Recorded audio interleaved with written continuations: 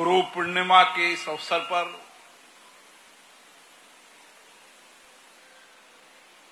आप सभी को सशत प्रणाम। आज हम सब यहाँ पर आध्यात्मिक, सांस्कृतिक मानवीय जीवन को दिशा देने वाले श्री श्री गुरुदेव रविशंकर जी को शत नमन करते हैं, प्रणाम करते हैं। जिन्होंने इस देश में नहीं, बल्कि पूरे विश्व के अंदर अपने आध्यात्मिक ज्ञान से अपने योग योग के साथ अन्य कई क्रियाओं के माध्यम से देश और विश्व के करोड़ों लोगों के जीवन को परिवर्तन किया, उनका मार्गदर्शन किया, उनको जीवन जीने की राह बताई। और तनाव, अशांति से मुक्त, शांति के मार्ग पर चलने के लिए हम सबको प्रेरणा दी। इसलिए आज का दिन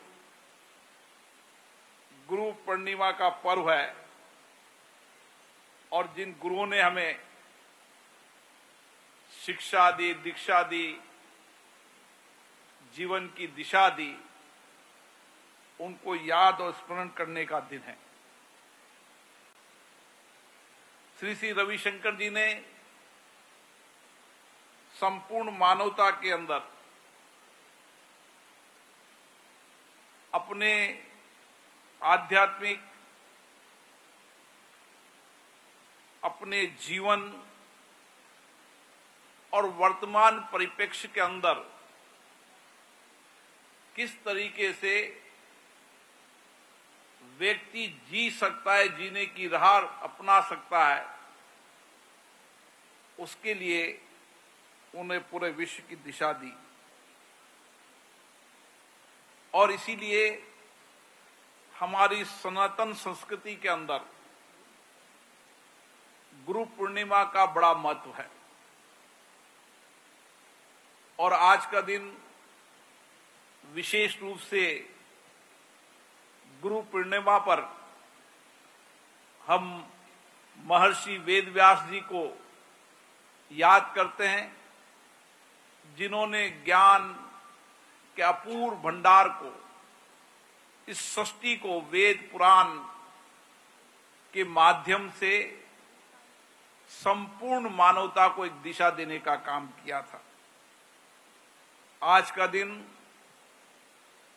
आदिकाल भगवान महेश, जिन्होंने वेद को, ज्ञान को, मानवता को दिया और आज भी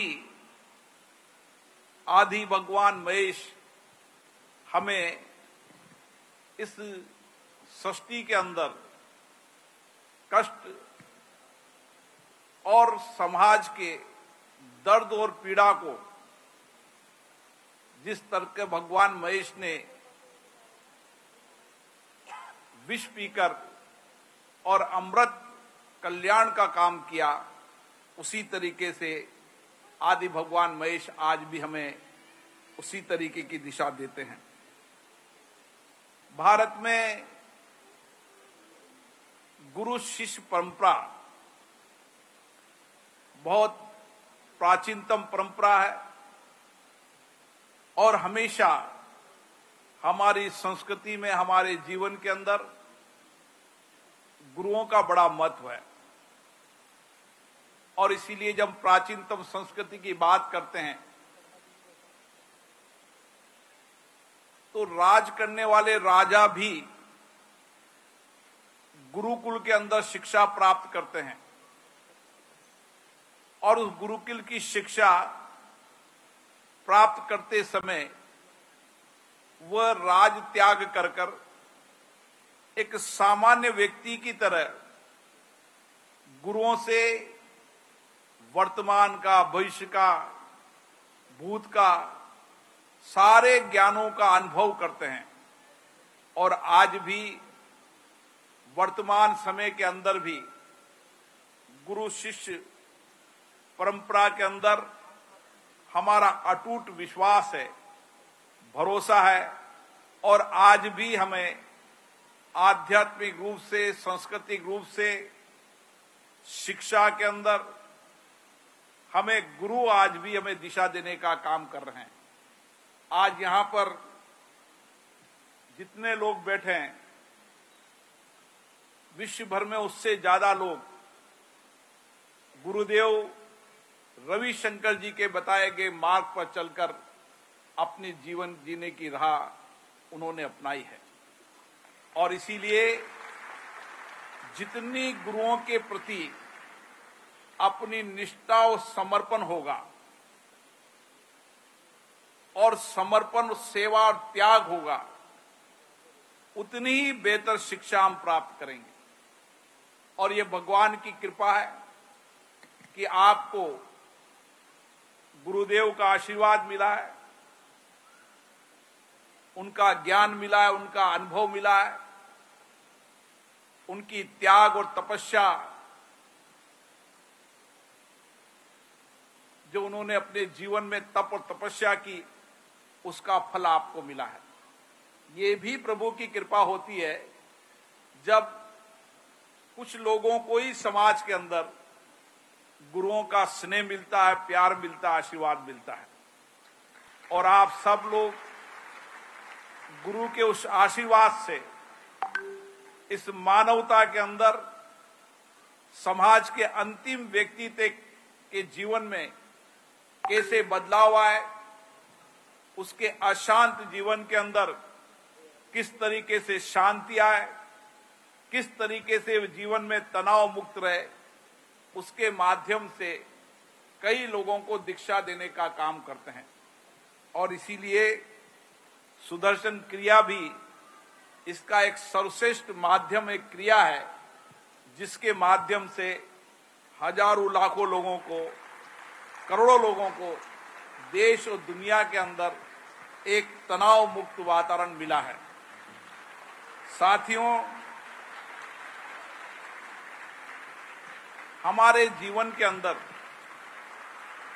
हमें पैदा करने वाले माता पिता का तो हमें जीवन में संस्कार मिलते हैं, दिशा मिलती है।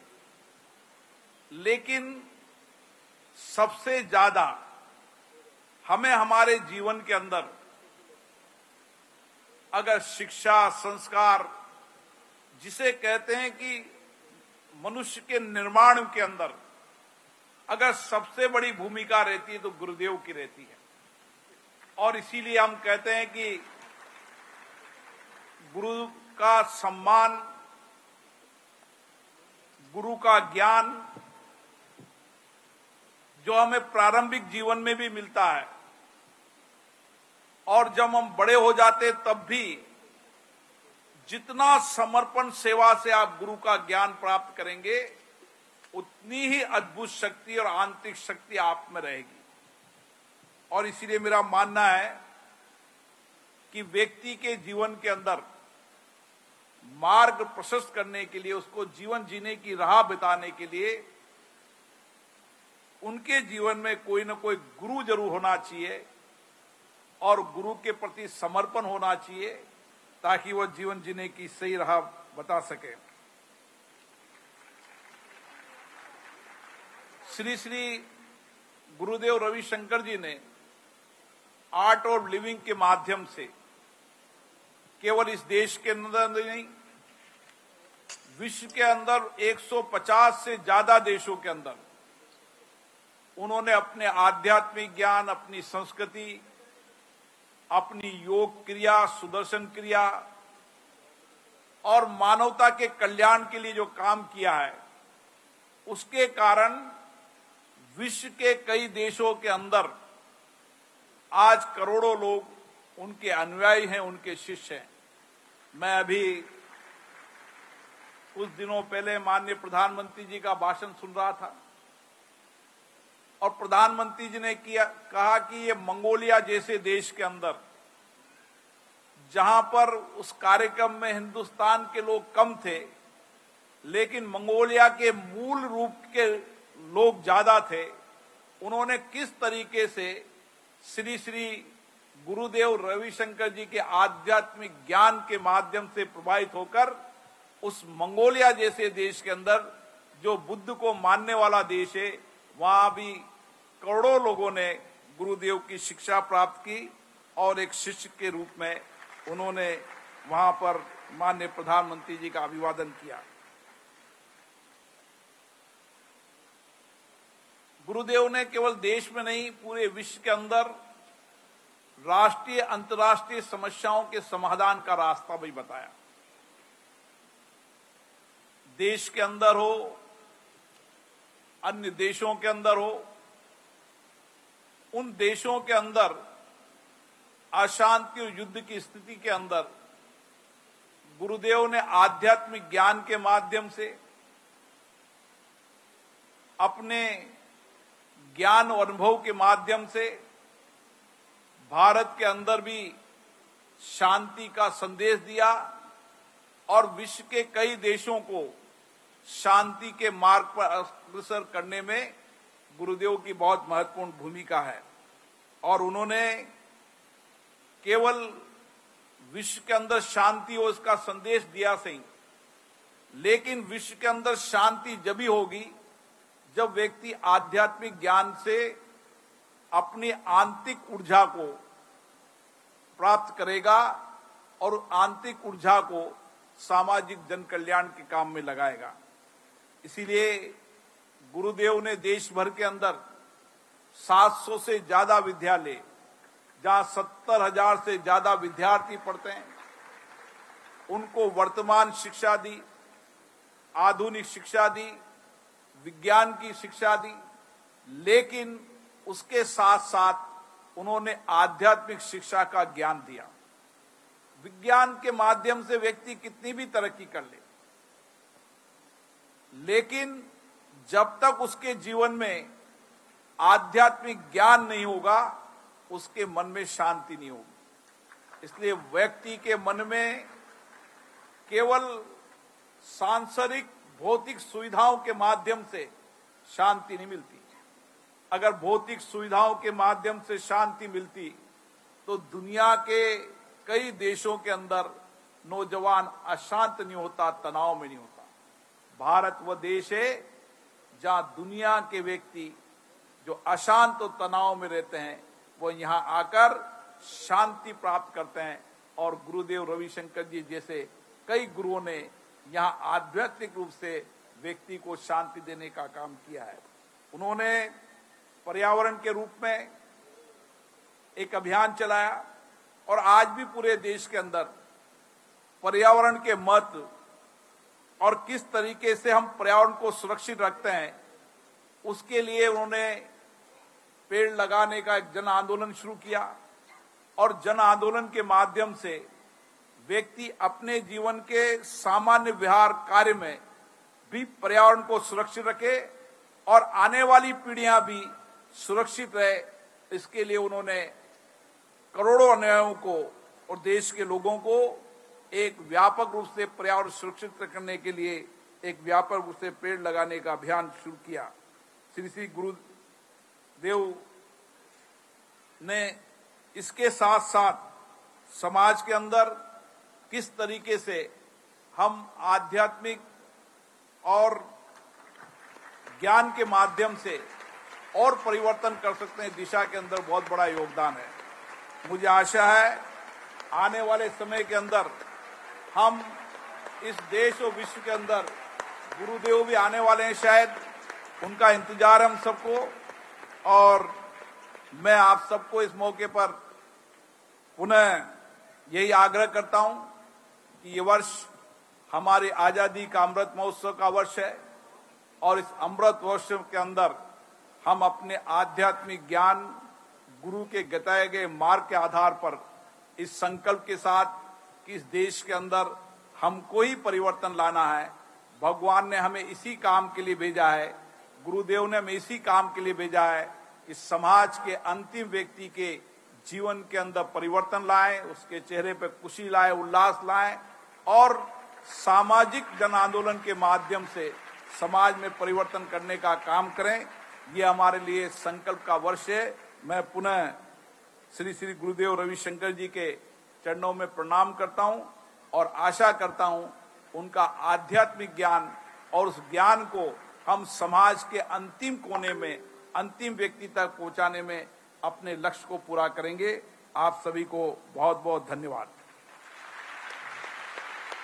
बहुत बहुत धन्यवाद अध्यक्ष महोदय।